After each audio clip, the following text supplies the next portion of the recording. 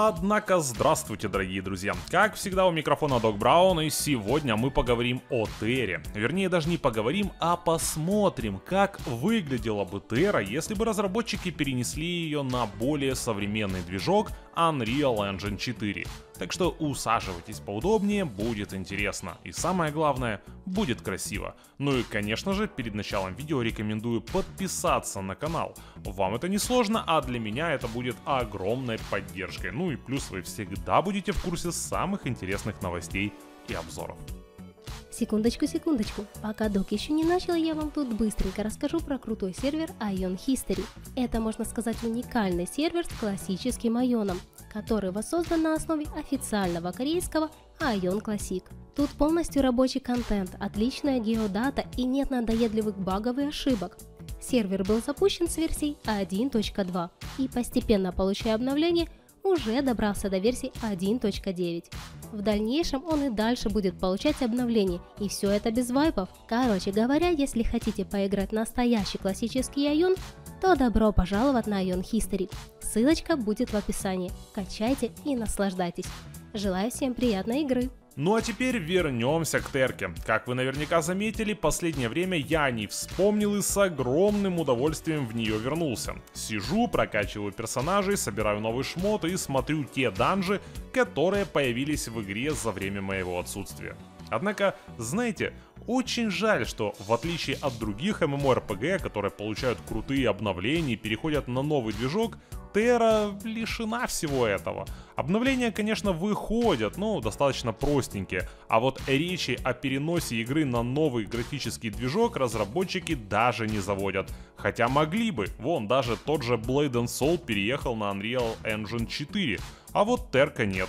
И знаете, я лично откровенно сомневаюсь, что когда-то Terra сменит движок, учитывая, что даже новая игра от ее разработчиков вышла на все том же старом Unreal Engine 3. Но при этом все-таки есть пряморукие люди, которым нравится Terra и которые собственными силами переносят игру на Unreal Engine 4.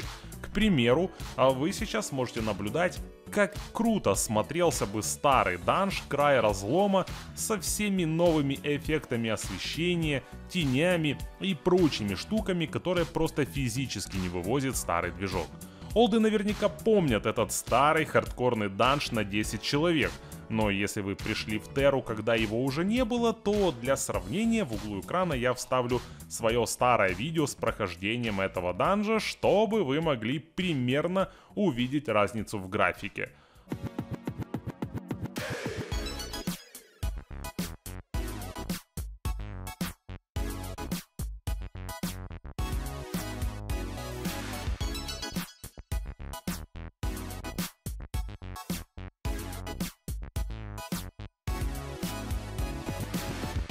А вот вам на сравнение, как мог бы выглядеть на новом движке самый первый данж Бастион Лока. Зацените, как круто смотрятся эффекты боя, а также блики на броне и оружии персонажа.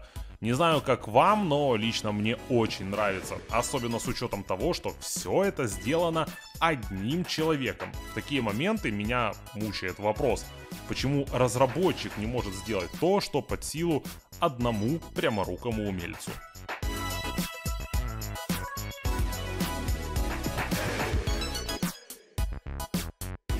Ну и напоследок, вот ловите еще демонстрацию того, как бы выглядели эффекты боя за берсерка, мага и лучника. И все это на красивой локации, с крутыми тенями, шикарным освещением и бликами. В общем, совсем тем, чего нет в оригинальной Терре на старом движке.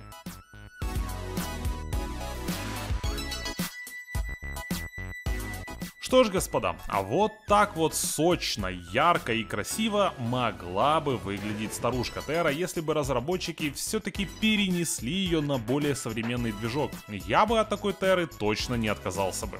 Напишите в комментариях, как вам старые локации на новом движке и хотели бы вы, чтобы Терра официально получила такое вот обновление. Ну и в завершении скажу, что если вы все еще думаете, стоит ли вернуться в Терру или нет, то да, стоит. Как минимум, заряд ностальгии и положительных эмоций вам точно гарантирован. Кстати, если вам интересно, как поживает Terra в 2022 году, есть ли там онлайн и как вообще поиграть на RU сервере, то обязательно посмотрите видео на эту тему, кликнув на подсказку в углу экрана или перейдя по ссылке в описании.